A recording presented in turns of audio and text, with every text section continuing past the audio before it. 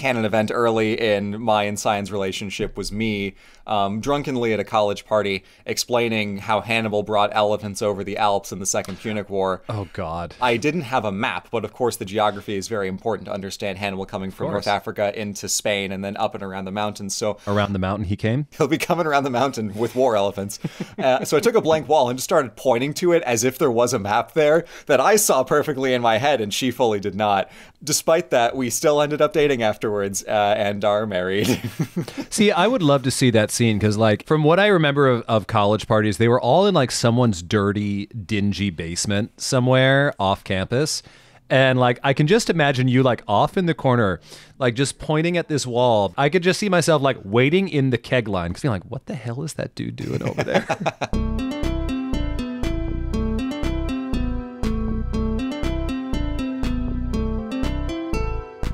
Hello, everybody, and welcome to a special bonus episode of the Overly Sarcastic Podcast. I am Blue, and I'm joined by friend and fellow uh, history enjoyer Jacques Ze Whipper, Jack Lepiars. Thank you so much for joining on our little uh, history nonsense today. Hello. Um, because it's just me and Red isn't here, I decided that I needed to up Red's drink choices. So I don't have cold brew. I don't have anything like that. I have a Red Bull over ice in a wine glass, and nice. I'm ready to go. I'm actually, since I also need to up red string choices, I'm consuming straight methanol right now. it's like one of our friends who drinks uh, Everclear, where it's like, if I'm going to get drunk, I might as well be efficient. It's like, you know what? Might as well get there quickly. A horrible choice, but I respect the logic, if not the actual outcome of it. But we're, we're here doing a, a special little uh, little history bonus episode. Uh, we were getting brunch one day and we were talking about the Napoleon movie for like 45 minutes, and I thought, you know what? Let, us do this again. let's do this again. but for content. Yes, exactly so we can put it up for everyone to enjoy our, our nonsense because this is the kind of conversation that happens basically anytime we're in a room together, whether it's Napoleon or, or, or something else. But we've got a, a whole bunch of uh, history related questions to uh, to chew on uh, over the course of this little bonus episode. But to start, I thought it might be fun to uh, talk a little bit about how we got interested in, in history in the first place because, you know, I, I do history as, as my job. Your character of Jacques is, is a very historically inspired character. So do you want to go first or do you want me to uh, be in the, the hot go, seat first? I can go first because my mine is going to be much less impressive than yours um, because I don't have a degree in any of this. Um, for me, it was it was um, so when I was a kid, my dad I think ran out of like weird stories to tell me, and so he just started telling me history stories because history is interesting. Like you look at like the stories of um, I'm thinking back to like what he told me. He would tell me about Attila the Hun, and he would tell me about like the Spanish conquest of Mexico, and all these like you know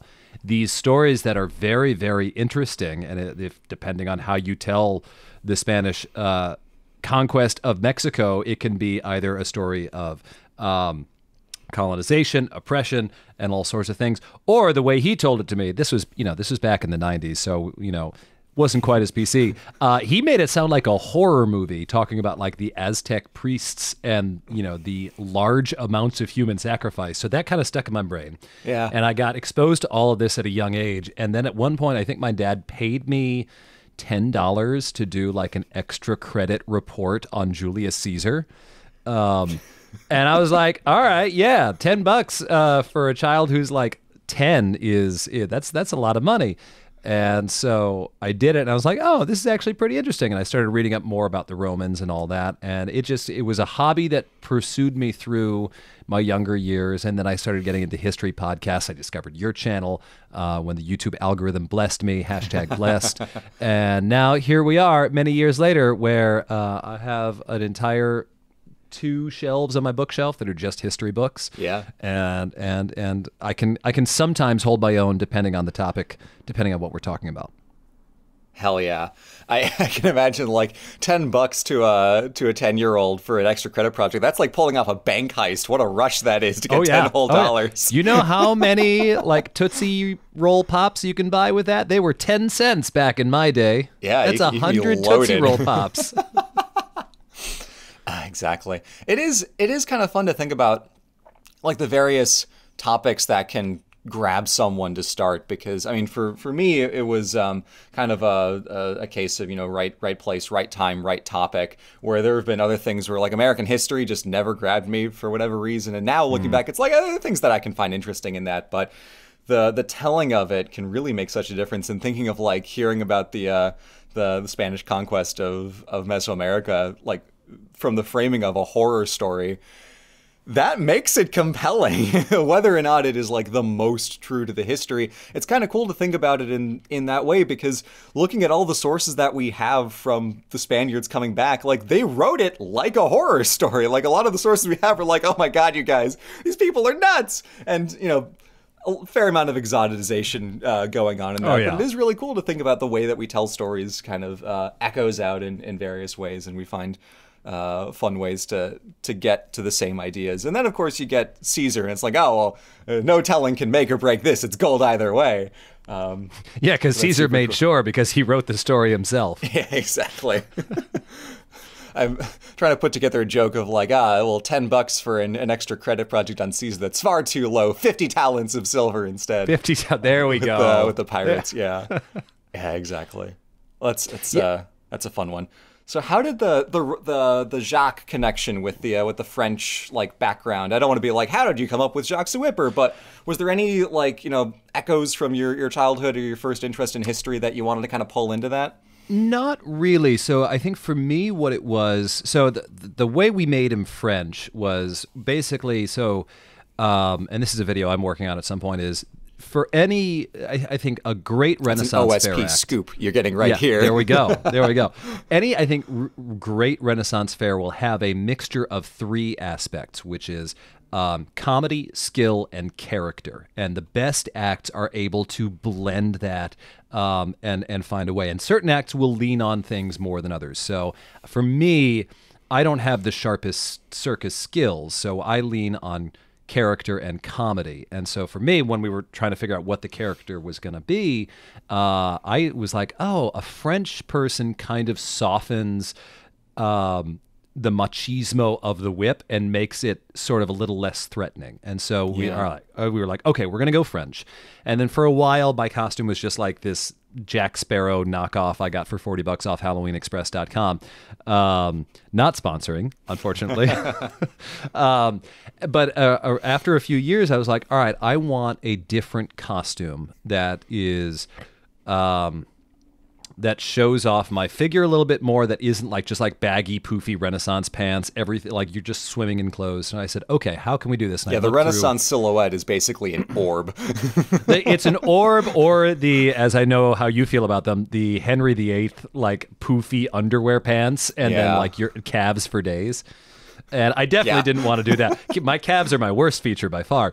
Um, and so, what I did was I started looking like, okay, what were the styles throughout various points in history? And I looked at a, at a picture of uh, Louis the Fourteenth, and I was like, okay, what is he wearing? What what are the pants? The pants are pretty close to baseball pants, actually, and I have a bunch of baseball pants. I like how those look, and the shoes.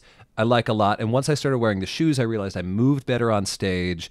And then mm. from there, it was um, figuring out the top half, which I decided on vest and shirt, easy, simple, kept it in kind of that Baroque late 1600s uh, to 1700 style. And then it someone flies. gave me, yeah. and then someone gave me a revolutionary cockade uh, when I was performing in Louisiana. I was like, well, this is going on my costume forever. And I still have it, still wear it every show. Uh, now, God, seven, eight, nine years later.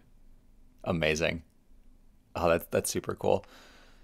So basically, my thinking was, what point in history that's vaguely close, va- vaguely adjacent to the Renaissance? You know, only separated by about 200 years of history. That's fine. Uh, fine. Do I like it? yeah. And then at a certain point, I was like, you know what? Let's just um, let's just fully embrace this. And so I got a, a set of um, of my my I call them my pimp shoes, my my high heels uh, where the heels are actually painted red, which was to indicate that a person had been invited to attend the court of oh, Louis the Fourteenth. That. So that's a little, little nice yeah. little nod to. Basically, there are a bunch Background of historical lore. Easter eggs in there. Um, none of which are a- at all related to the Renaissance. But you know what? American Swiffer is a, a palimpsest of a character. There's just layers of different decades. No, that's uh, that, that's super fun. I I because I know we, have talked about like oh you know the, the revolutionary cockade isn't you know necessarily in keeping with the rest of the outfit, but it's it's it's cool to hear what the different inspirations uh, were and the crafting of like a a character around that. Um, for for my background in history, I mean, I've, I've explained this in a couple other places on the channel, but it, it started with uh, playing Assassin's Creed One and Two and thinking, oh, well, this is pretty interesting. I guess this can actually be kind of fun after all. And then uh, kind of tying that in with learning about Machiavelli uh, at the same time that I was playing AC Brotherhood. So it wasn't just a case of like, oh, I know about this character from the game, or like, oh, I'm I'm reading what this game character actually wrote in real life. It was like one level transcended where it's my personal friend Machiavelli wrote The Prince, and then kind of feeling that come together in this this like greater sense of understanding and participation in the world. And then that kind of carried me through my early interest in Italy and the Renaissance. And then in college, I had um, a really great teacher of classical civilization and ancient Greece that was like, oh, okay, now this is cool. I'm, I'm in it. And that's what made me make the jump into understanding that history is not only kind of fun and neat and Italy is cool, but like the process of historical storytelling can make any topic bounce off the page if you've you've got the enthusiasm and, and you know how to make it come alive. So that was kind of my uh, my three step process: Assassin's Creed, Machiavelli, and then that one professor in college learning about ancient Greece. Having a great professor or great teacher for history is it's the it's I think it's the biggest thing in a lot of ways because mm-hmm. I've had great history uh, teachers. My my junior year AP U.S. history teacher was like I'm like you. I don't usually like US history and he made it interesting for me. And then I remember I had one professor in college where I was like I love history. I should be liking this class. I cannot stay awake through mm. it. Damn. That's rough. Yeah. Yeah. Why don't you like American history, Blue?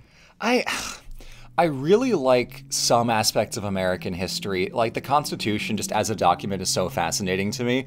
So, uh, Indigo, we'll, we'll be hanging out in Philly later this year. We can go to the Constitution Center and I'll be like, oh, look at this, Center look at this. Is a, remarkably well put together museum, and all, despite not really actually having the Constitution in it.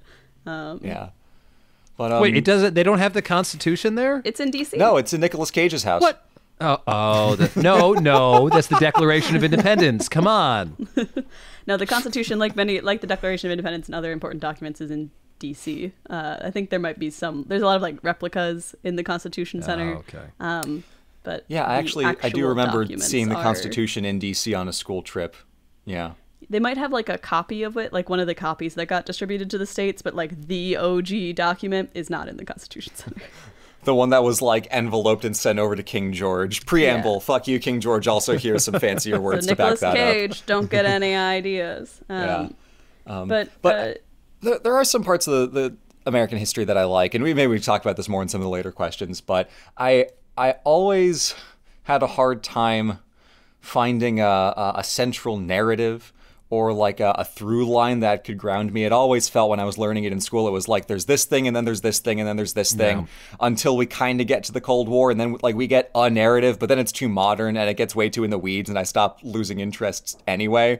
So I don't know. I, I really want to like American history and like digging into individual little corners, like different cities, different states, I find cool. But overall, it's uh, we are blessed with an abundance of sources, which makes it kind of impossible to tell a straight story without getting hopelessly lost. yeah, for me, I mean, like I grew up in the Mid Atlantic. Um, I grew up like 10 minutes from um, Washington's headquarters. And like, so we got a ton of Revolutionary War stuff, but it was I feel like by the time we actually started delving into more interesting things beyond like George Washington existed and then the colonists won and then we were free. Um, by the time we actually got past that, we were done talking about like the first half of American history. And so I never got to look at look at all that, but I'm so just like it was all we got in school that I'm just like, okay, I've learned everything. I haven't learned everything. You can't learn everything. But no, I'm like, I, I know yeah. the gist. Move on. Give me something else. Yeah, exactly. But uh, we'll, we'll talk about a handful of other different topics here in the rest of this podcast. So Indigo, hit us with some some fan Q&As from our Discord. Oh yeah. Well, speaking on and speaking of moving on and talking about something else, uh, this first question does come from one of our lovely patrons. As per usual, if you would like to support the podcast and the channel, consider becoming a patron for even more exclusive content and the potential of having your question read first, even on bonus episodes. Uh, this one comes from Queek the Crow, Hunter of Hunters. Who would win in a fight between Pope Gregory the Great, Pope Julius II, and Pope Innocent III? So you've done a lot of Pope fights Obviously on the not channel. innocent. He's just innocent. He's just, he's Definitely just a little guy. He's just a horribly anti-Semitic little guy, and it's his birthday. Um, we've done a lot of Pope fight stuff. Yeah. Um, Pope Gregory the Great. Um, he was the uh, the Pope in like the the 500s who kind of established the power base of the Vatican in the absence of, of Roman imperial authority. Um, I would have to give it to Pope Julius II because he is the warrior pope, and he started the War of the League of Cambrai, which was probably the hmm. most ruinous and ruinously confusing war in the entire like Italian Wars Chronicle, where it was I might be getting the order of this wrong, but it was France and the Pope and the Holy Roman Empire against Venice, and then France and Venice and the Pope against the Holy Roman Empire, and then the Holy Roman Empire and Venice and the Pope against France, and it ended up being completely status quo antebellum, but it was just this huge, horrifically violent waste of time that Julius died before ended. I was about he- to say. yeah, he he was alive for like three more years, and then the war just kept going for like another five. Um, so I think he uh, he would not see the war to its conclusion, but Julius II probably stands the best chance in a fight because he had the biggest papal army by far, uh, by orders of magnitude. Uh, at the time, I mean, Gregory did not have a papal army. Um, Innocent might have, but nowhere near like 1500s, um, like Swiss Guards and Landsknecht and stuff. When you get the HRE allied, so not a chance. Innocent easy, or uh, sorry, um, uh, Julius easy. I have nothing further to add. all all that I know about these three popes comes from Blue, so like I, I cannot add anything to this conversation. The Pope uh, going going back to areas of history that I don't like. Renaissance Italy is like bottom of the barrel, like absolutely no interest for me, and I think it's just because I had one bad class that dealt with the Renaissance, where I was just like, I don't know what any of these words mean. Um, and I'm just moving on. You know that I can understand why someone would not like the Renaissance. I mean, independent of like having a bad teacher, for a similar reason that I didn't like American history. The stories are so disparate, where it's like, okay, well, like let's talk about what Florence is doing, let's talk about what Rome's doing, let's talk about what Venice is doing, and you can get so into the weeds without actually getting a sense of what's happening. I can mm-hmm. I can fully understand why why that might be a difficult topic to access. Yeah, but something that might be a little easier to access and to kind of shift gears a bit to things that you do like in history. This question from the Fisher King What is your personal favorite event in history? Ooh. You get one event that you get to like above all else. Hmm, let's see. There are, there are a lot. There are at least a dozen events throughout history from which to choose between. I mean, the the invention of the internet personally benefits me, so that's hmm. that's high on the list. But I feel like that is not what this person is going for. Yeah, I'm I'm one of those people who thinks that uh, as much as my entire job depends on the internet, I do believe the internet was a mistake. Oh God, yes. Oh God, yes. Let's let's let's go down that rabbit hole and then come back to this question when we have for, fully formulated answers. Uh, Uh, it's like I would have done better at the Baghdad House of Wisdom than on YouTube. I feel like my my answer to this is just going to be a meme or like a silly thing from history. Like so, the what I what I think of what is what is immediately popping to mind, and this is not the correct answer, is how I described the Second Punic War to my wife when we were. Uh, or very early in our dating, um, and she stuck around after this, which is how you know she's a winner. Um, which was I was explaining the lead up to the Battle of Cannae, where Hannibal basically just like slaughtered the Romans. And I was like, so the Romans sent an army after Hannibal. He beat the crap out of them. The Romans were like, that, you jerk, don't do that. And so they sent another army after him. And he beat the crap out of them again. And then this smart Roman was like, hey, maybe let's stop sending every army after him. and they were like, okay, maybe. And then like they thought about it for about two seconds. They were like, no, no. and so they kicked him out, or they waited until he was out of out of office or out of dictatorship. And then they made up a bigger army, and they were like, "This time we got him." And then he slaughtered them again, and and then they were like, "Oh, maybe we should do this." It only took three times and over hundred thousand battle deaths for it to happen, but they finally figured it out. Maybe Fabius Maximus Cunctator had the right idea after all. We should just delay, delay, delay. God, that's a classic. This is funny because um, uh, an event, uh, a canon event early in my and Cyan's relationship was me um, drunkenly at a college party explaining how Hannibal brought elephants over the Alps in the Second Punic War. Oh God! With um, I didn't have a map, but of course the geography is very important to understand Hannibal coming from North Africa into Spain and then up and around the mountains. So I took a blank wall around the mountain. He came. he'll be coming around the mountain with war elephants. Uh, so I took a blank wall and just started pointing to it as if there was a map there that I saw perfectly in my head, and she fully did not. Um, and then despite that, we still ended up dating afterwards uh, and are married. see, I would love to see that scene because, like, you know, I from what I remember of, of, college parties, they were all in like someone's dirty, dingy basement somewhere off campus. And like I can just imagine you like off in the corner, like just pointing at this wall, being like, "All right, so here's where Italy is. Here's where the Alps are. Here's where everything is." And like I could just see myself like waiting in the keg line because the keg lines were always like half an hour long, just being like, "What the hell is that dude doing over there?"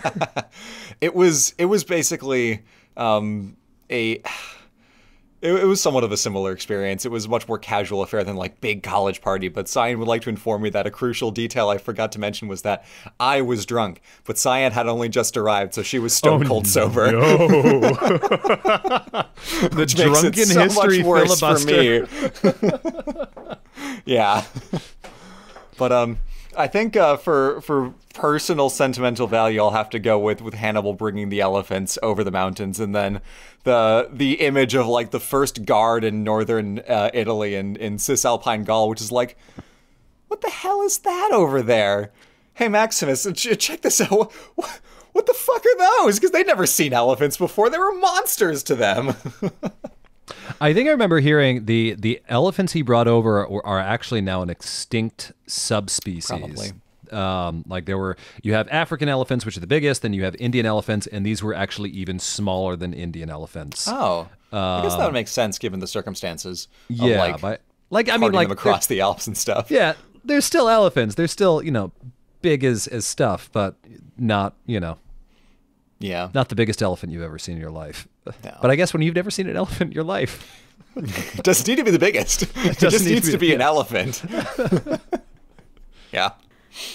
All right. Well, we'll move on to another question. This one comes from Seven Cat Witch. Rome has been sacked multiple times. Which sacking was the strangest? Like, if you put it in a book, a reader would sort of chuckle and say, that's unrealistic. So, what's been the strangest um, sacking of Rome? So, I'll go through uh, a list of. Um, of the seven that I can conjure to mind based top, on Matthew top Neal's ten sa- sackings of Rome list. Go top ten anime sackings. Number seven will shock you. Uh, number seven will remove the Pope and install the government of Italy. Yeah.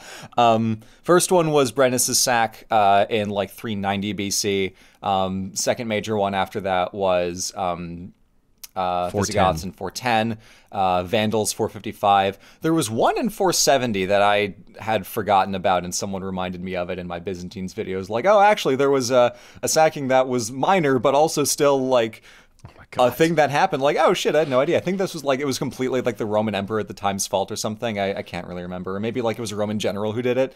Um, but then you've got a track. whole bunch of wars with various sieges of Rome, but not quite a sack until the um, the Ostrogothic sack in like 550 something. That's when the city was completely depopulated, like not a soul left, like you know, not even a mouse. Um, and then slowly it came back into shape. Um, there was the Normans uh, who sacked Rome in like 1072 during their uh, their conquest of southern Italy, which was hilarious. Where they wrote the Pope a letter saying like, "Hi, sorry, but like." We gotta. uh, then you've sometimes got, you gotta sack Rome. Yeah, you just, you just gotta. Um, 1527 was the uh, Holy Roman Empire sack, uh, Charles V, where it's like, oh no, my army mutinied and sacked Rome. Fuck you. You knew what you were doing. Uh, still mad about that one. Like, oh no, my army fought. How unforeseen. Um, there's one in the 1700s where there was a whole thing of like a bunch of people are like Freemasons and it's a whole conspiracy or some nonsense. I didn't really remember that one super well. Uh, there's the one that was in the War of Unification, and then there's uh, like World War II when the Nazis kind of like kicked it on their way out after uh, Mussolini's government fell. And The Nazis are like, wait, no, you don't. So the strangest one, I would probably say, is the I'd probably give it to the the Ostrogoths in the 500s because it was the case where the city was honestly actually doing pretty well in the wake of the empire falling. The Ostrogothic kings like Theodoric were genuinely very good at their jobs and kind of reconstituted a Romanesque state in the wake of the empire falling that stretched from Italy into southern France and down into most of Spain. And it was like things are actually going great. And then Justinian over in Constantinople's like I don't like this one bit. I'm just gonna come on and make a mess. And it's like, yeah, you reconquered Rome. It's like the quintessential we did it, Patrick. We saved the city, where Rome was doing better before the Roman Empire showed back up. And then the ensuing sack was so absolutely catastrophic that the city was completely, utterly empty for the first time since like 1000 BC. For me, I don't I don't know if I have a strangest. I do have a most frustrating one, which would be the the one in uh, 410 with Alaric, because didn't he basically say to the Emperor Honorius, like three times, be like, "Bro, I'm gonna sack Rome." Uh, and Honorius is like, "Do it, you won't." it's like, give me an excuse to not come in and sack Rome.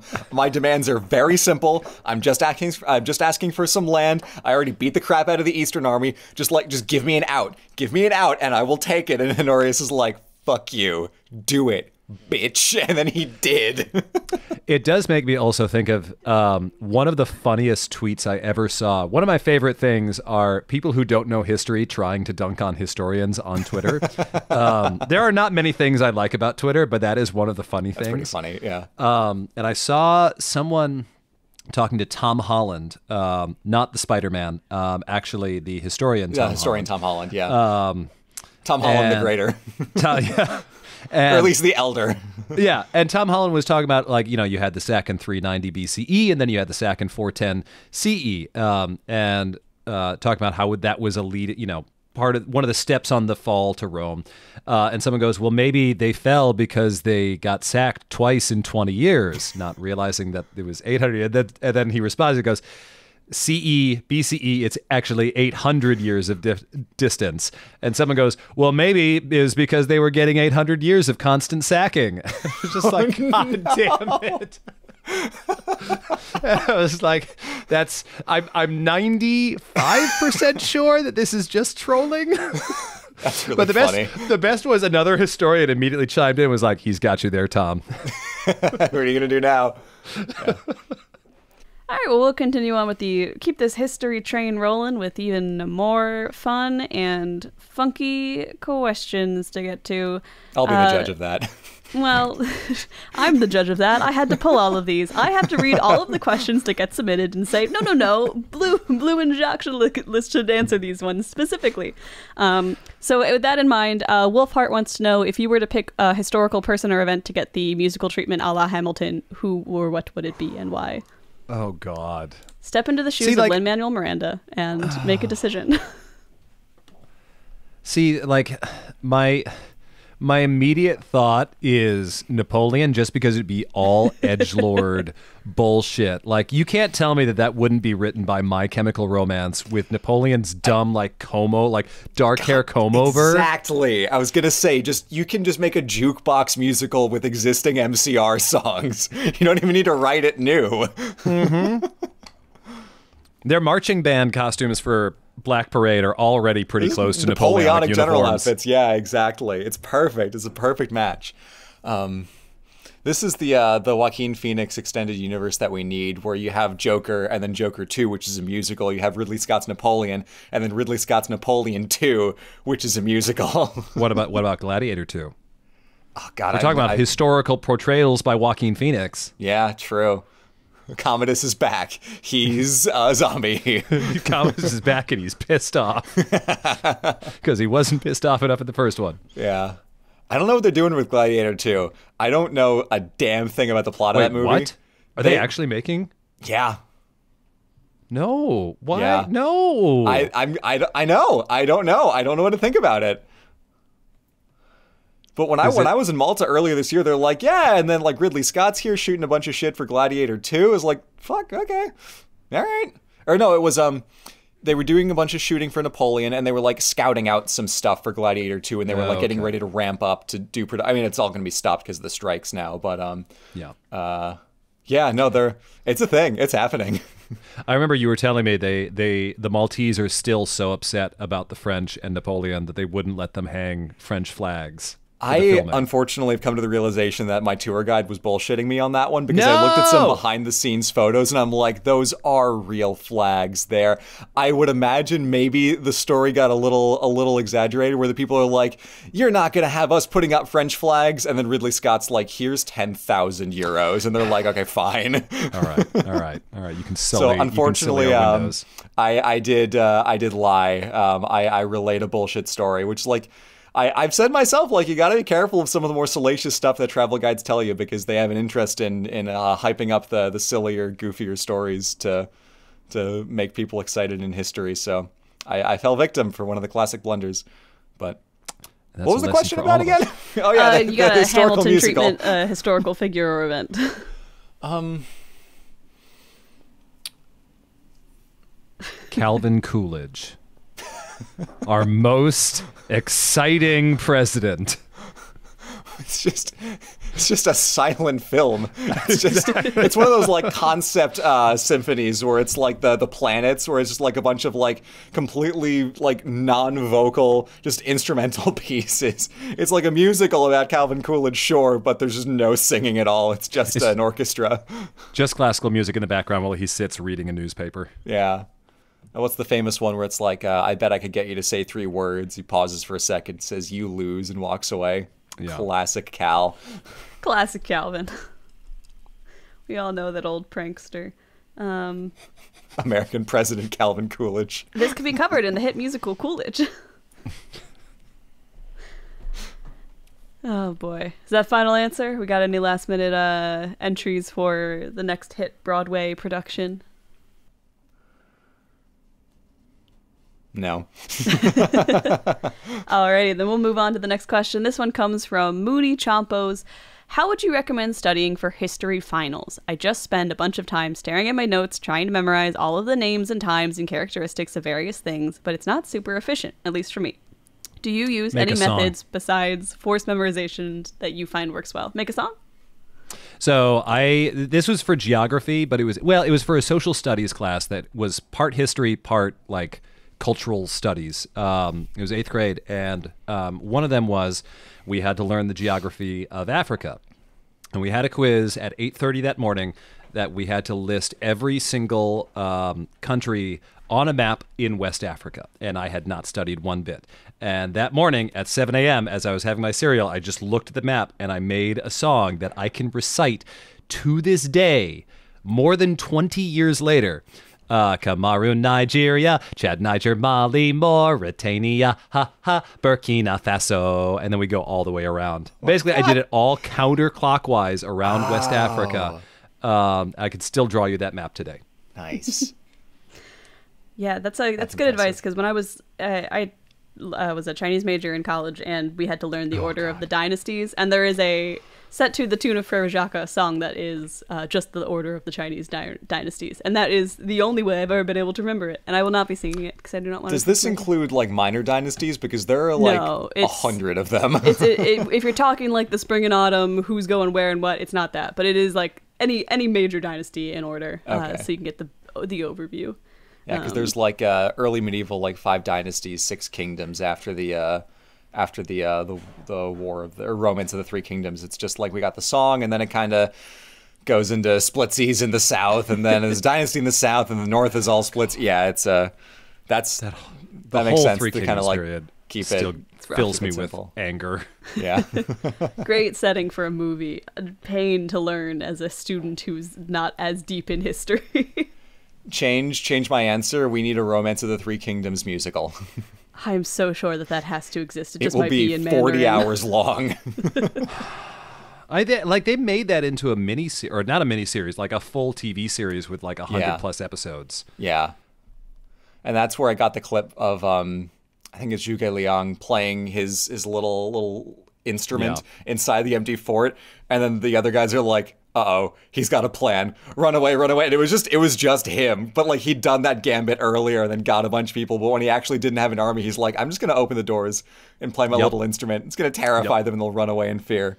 That's the uh, that's My- the real centerpiece uh, I want musical number, which is I want you to not destroy my little city here. My my hot take related to the Three Kingdoms, and I know we're so off off topic. I'm sorry, Indigo. No, uh, is that uh, Liu Bei is not the good guy, and that it would have been much much better had Cao Cao just just swept everyone and won it in 20 years, like he was on pace to do before Battle of Red Cliffs. Indigo, what's your counterpoint to this? Oh, I don't have one. Uh, most of my knowledge of Chinese history at this point is uh, only related to the um, uh, post Cultural Revolution period. So, sure. That's fair. Uh, but it's make up a song. Blue, any studying Yeah, I was for I was gonna uh, say listener? basically try to tell a story out of it. Uh, find a narrative if you can, piecing things together because there's gonna be a lot of stuff that is um, disparate and hard to make sense of. Um, and memorization uh, is you know it's useful, but it's it's also hard. It's hard to hold a bunch of information in a vacuum. But if you can tell a story to try to like you know if you have a bunch of like definitions of terms you have to memorize, try to make a sense of like a progression of like one to the next and how things relate so that even if you don't remember each individual one you can kind of remember the the shape of the arc the the general narrative and that'll help you figure out like what relates to what in the broad strokes. And that's kind of what i do is you know i was writing my first videos when i was studying for tests essentially. So i took all the information that i had and thought well let me prove to myself that i know this by writing a story and they weren't great because i only knew the information so well because i was new to a lot of this stuff i really did not have much of a of a historical uh, basis um, in you know the ancient world before I was in college and then started doing OSP. But um, trying to think of things as a narrative will will make a lot of things make sense in a way that they won't just in a vacuum. It may also make you enjoy it more, but in the case of just studying for a test, like one thing at a time. Excellent. Well, this next question comes from Mystery Casts. If you could solve one historical mystery, which would it be and why? Where is Cleopatra buried? I want to see the tomb. we think it's a Taposiris Magna. We just haven't figured out like where exactly, and we haven't dug all the way down. Oh, I I'm trying to think I'm trying to think of like through the historical mysteries that I know and which ones haven't essentially been solved um, already, a la like what happened to Roanoke.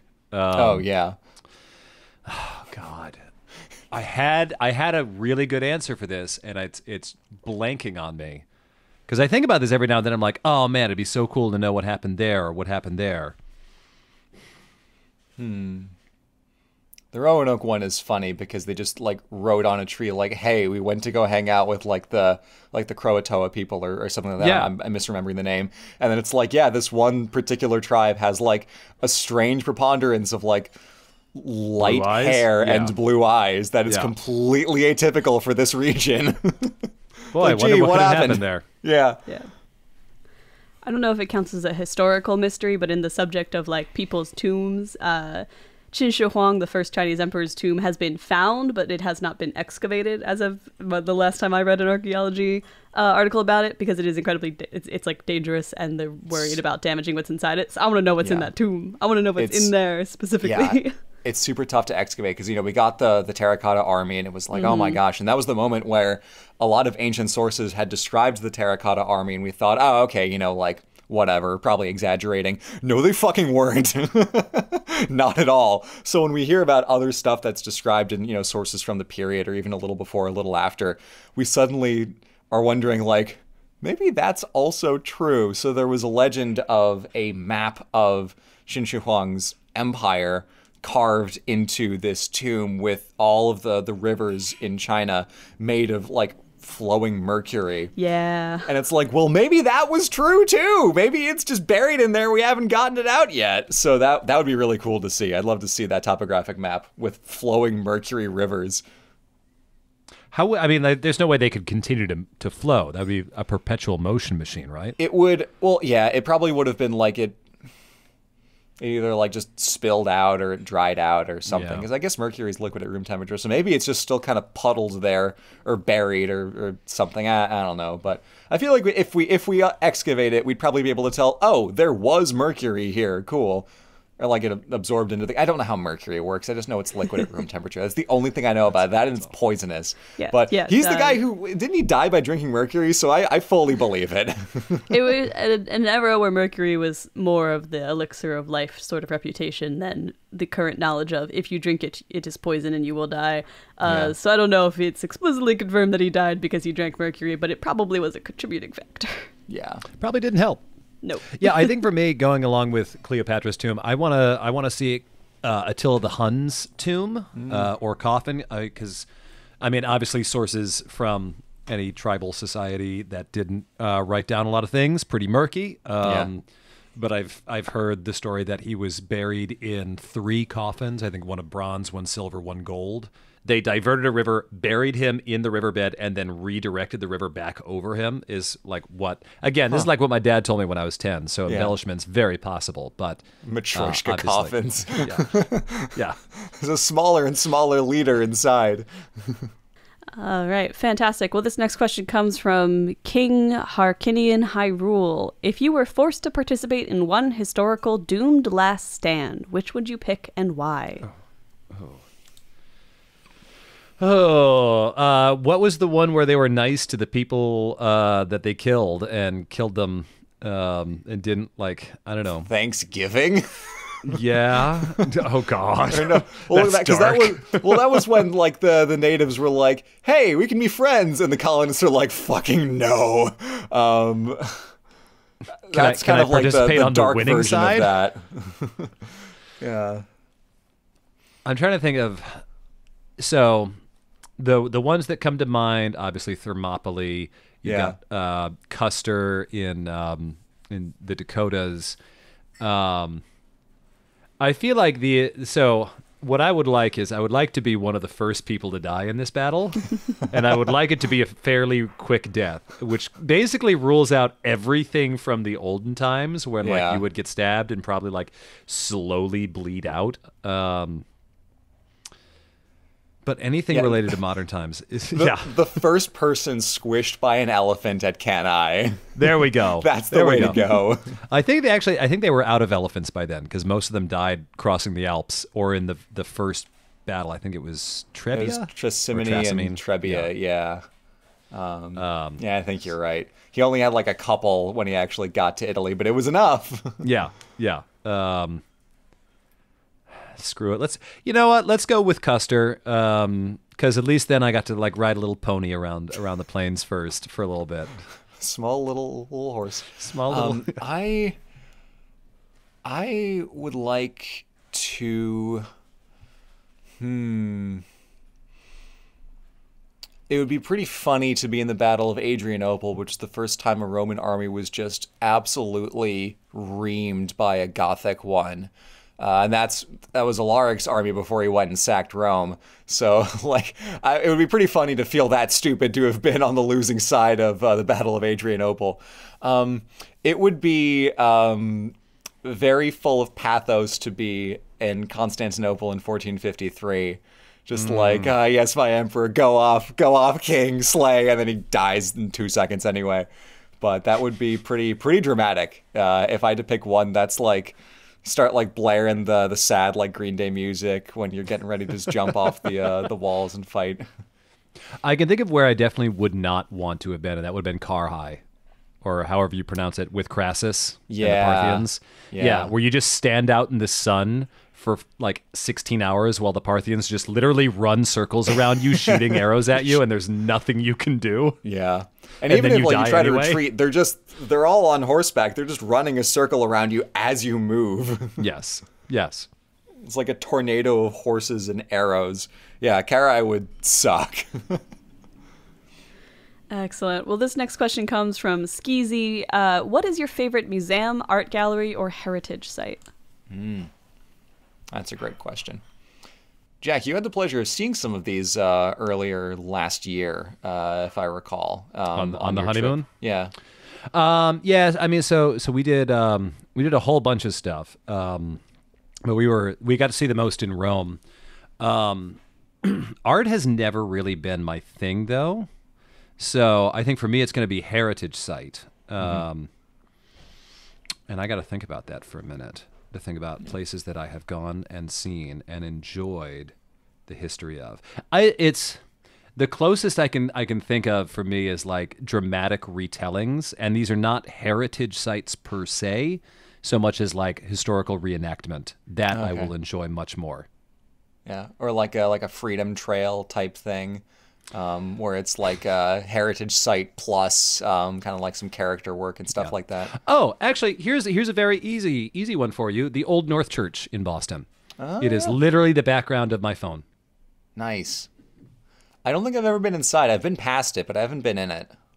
So when I um, I lived in the North End of Boston for four years, and the when I first moved there, I didn't have a Massachusetts plate because I was still in college, and so I had to park in a parking garage. Couldn't park on the street, and the parking garage was just up the hill from the Old North Church. So to walk to my apartment, I would walk past the Old North Church every single day, and then playing Assassin's Creed Three. You know, several years later, Yeah. while living in the North End, I'm walking around and I'm like, oh my God, that's the street I walk down every single day, and it looks Yeah. exactly the same. That was, I mean, That's fun. I don't love the AC series as much as you, but that was an awesome moment for me. Yeah. Yeah, I'm, I'm currently playing through Mirage and I'm, I'm writing up my realism review and I'm like, oh no, it's actually pretty good. Oh no. You're not playing Mirage, you're, you're playing Spider Man now because it's November. Yes, because at time of release it is November, I'm playing Spider-Man 2. Sony's Marvel's Insomniac Spider-Man 2 for PS5. I have already 100%ed Spider Man 2. Sony, Marvel, Insomniac, Spider Man 2. I've already 100%ed it. I'm calling I- it right now. I'm excited for the, uh, or actually, I'm not excited for because they've already been happening because at time of release, this game has already come out. Uh, for the Bell percent speed runs, where you go through the game and then, like, when Peter gets the symbiote suit off, he always has to, like, whack himself against a giant church bell. I want Yeah. there to be a speed run where when you hit the bell, that's time. bell percent. Oh my God. um, uh, to the question, however, uh, my favorite, um, my favorite museum plus heritage site would probably have to be, um, the Uffizi is pretty damn good, but it is really hard to beat the Vatican museums in Rome. As much as I, I hate Pope Julius II's guts for starting a war just because of his hometown rivalry, he was from Genoa and Venice is Venice, so what's a man gonna do? Um, like I, I don't respect it, but I understand it. Um, the Vatican Museum, which was basically his whole thing, St. Peter's Basilica, the redesign was his whole idea. Like tear this down, we're getting a new one. Like all right, boss, you're you're in charge. It'll take a hundred years, but mm, fine. Um, the Vatican museums are absolutely fascinating to explore. Then culminating in going into St. Peter's Basilica is like, and here we are, the apotheosis of all the church's money and everyone else in Europe's money too. But um, what I, I kind of enjoy about going to museums in in Italy, um, as opposed to some of the larger museums in Paris or in Berlin or in London, is like basically all the stuff that is in this museum was made here. And it's just kind of like, this is pleasantly unproblematic. It's like, yeah, here's some Roman stuff that we found in Florence. Here's some some Florentine paintings from the Renaissance that were made here. And it's just, oh, like that's so nice. It's it's so pleasant and fun when the stuff that's in here wasn't just categorically stolen. It's the benefit of not having been an empire for about 2,000 years. Yeah. Yeah. And it's like, well, Mona Lisa's in Paris. Like, fuck, fine, whatever. Um, so even a lot of Italy's own stuff was carted off. Horses of St. Mark briefly in Paris. Thank God, only briefly. Uh, and of course, the, the people in Istanbul are like, they should have been here. And then the people in that one town in Greece where the horses were actually made before they came to Istanbul are like, they should have been here. so everyone can can be like, actually, we own those horses. But Venice is like, nope, sorry, come take them. But uh, yeah, no, uh, Vatican museums are so damn cool for the combination of the heritage site and the the museum experience of walking through all those just humongous galleries. Where I think it's um it's 11 miles of gallery in the Vatican museums. Oh my God. For a country that is a half of a square mile across, or like whatever it was, like two square miles across, something ridiculously small. Yeah. Awesome. Well, we're coming up on time for the podcast. We're going to do kind of a combo of two questions as one final question here from Emperor Tremere and Senior Cactus. Uh, what is the best and worst depiction of a historical figure in an Assassin's Creed game? Ooh. Um, worst depiction. There are a lot of crummy ones mixed in there, but I would have to give it to the way they do Cleopatra dirty because the first thing that she asks is, Where's my opium pipe? And then she says, I will sleep with anyone so long as I can kill them in the morning, which is just completely nonsense. What are you even accomplishing with, with a sentence like that being the first thing that comes out of a character's mouth? Like, it's just you you did the research to know that she wasn't like this, and yet you're still like, haha, this like opium addled harlot who just likes to bone and kill because royals, man, like, come on you know better than that. That one that one's pretty bad. Caesar they make just a jock, which I don't like, but in a way I can understand the reading because all the Romans in that game are like brutish dickheads and like fine, I, I get it. I don't like it. He's uninteresting in that game, but I can kind of get it. Cleopatra, they just they just flatten her into the the same like slut archetype character that she's been cast in since Augustus got his mitts on that narrative. That's probably the worst one in my opinion. The Romans were all jocks. Yeah. Rome, the Roman Empire is the jock of history. Yeah. Um, I haven't played as many Assassin's Creeds as you. Um, so, and it's been a while since I played a lot of them. So I'm like just going through the games that I have played, which is uh, one, two, all, all of the Ezio games, um, three, four, and half of Unity. Um, I didn't finish Unity, so I can't really lean in there. I think for me, um, I am very low on Richard the Lionheart. Uh, and so I'm going to say Richard the Lionheart from Assassin's Creed 1. I remember just being like way too like heroic. And I was like, Oh. eh, you were more of a bastard in real you life, were weren't you? yeah, you were more of a bastard. Also, should have should should be speaking French, not English. Um, yeah. but yeah, True. uh, that's that's yeah. I many years ago I wrote a song about uh, to Green Day's Minority, where I was talking about how much as a French character I don't like the monarchy, and one of the lines was King Richard was French. Look it up. That's good. I like that. Um, for best, I would be inclined. They do Socrates really well in Assassin's Creed Odyssey. He is obnoxious. They nailed him in that game. They they absolutely got him in one. And one of the things I like is that some of the conversations that you have with him in like little missions and stuff kind of like point to entire Socratic dialogues worth of material that they like acknowledge based on some of the things that he says in, in these cutscenes. But they're like, well, we're not going to overstay our welcome by like reciting this entire dialogue. But it's like, oh, this idea that he's saying right here, that's from this source that we have, which is really cool. So Socrates, in both like material content and just on vibes, is exquisitely well done. Um, I don't like the way they do Alcibiades. He's too boyish. Um, he needs to be like like more of a chiseled hottie, and he just he does not come across as that in the game. So I don't I, I don't like it. He's he's scheming, he's conniving, but he's he's too he's too soft in that game. Does not work. Does not work. The pirates in AC4 are great. Really love the way they did the pirates. Those are all really really intricate. They did Bra- uh, Blackbeard in a very nuanced way where he he he was playing it up. The whole Blackbeard character was an act so that he didn't have to actually bloody any of his swords in the process of boarding all these ships and stealing all this gold. Um, they had a surprising amount of nuance and depth to the characters in AC4 that I really like. But if I had to give it to one, I'd say worst Cleopatra, best Socrates. I I think too. I think of uh, Rodrigo Borgia from Two, Oh. just because as someone who knew nothing about Rodrigo Borgia when I when I first played it, it's like you got the idea very quickly of just how much of a scumbag this Yeah. guy is and was in real life. Oh yeah. and I was like, hmm, well done.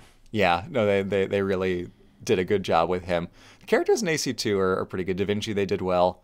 Borgia, Cesare, he's off his rocker. He's nuts. They did a great job with him in that game.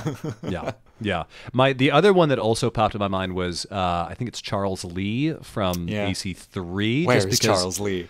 yeah, I, everything that I can remember of like the limited Revolutionary War stuff I can remember is that Charles Lee was just like constantly getting a little too big for his britches, and I feel like they they they nailed the prissiness. Yeah. for for lack of good a better word. term. Good word. No, Yeah. that's exactly it. Yeah, yeah, yeah. There, there are some, there are some good depictions nestled uh, in the nonsense that is those games. Yes. Yeah. Yeah, well, uh, that is time on the history podcast. Uh, thanks to I don't know why I'm doing this outro. I'm not the historian. Blue, take us Wait, out. wait, wait, wait. wait. Go wait. ahead, Can go I ahead. do? Can I do the outro? Yes, Uh, please. okay, all right. So I've been practicing for this moment forever, and I'm, I'm going to so do it in the excited. news voice. and uh, I want to see if I can do it better than Red, which I know is a low task. I love Red, uh, but as someone who listens to the podcast.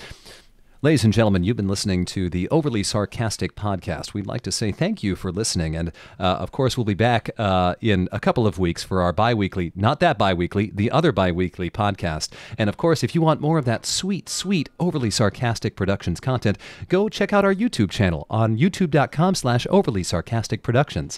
As always, I have been not red, I'm Ze Whipper. And I have been blue. And this has been an overly sarcastic podcast. I forget what she says at the end. No, you did That's it. You, you Nailed it. it. Great. Nailed it. One take. Perfect. oh, Red is quaking in her boots. Oh man. Thanks so much for listening to this very special Oops All History bonus episode of the Overly Sarcastic Podcast. Our regular episodes will resume on November 8th with another thrilling installment, but if you miss us before then, be sure to check out Overly Sarcastic Productions on YouTube. Got a question for the pod? Head over to Ask OS Pod on Discord for a chance for your question to be featured in a future episode. If you enjoyed the show, please rate us and leave a review on your preferred podcast platform. And if you really enjoyed the show, consider becoming a patron. Links to all that and our guest Jacques Ze Whipper's content can be found in the show notes below.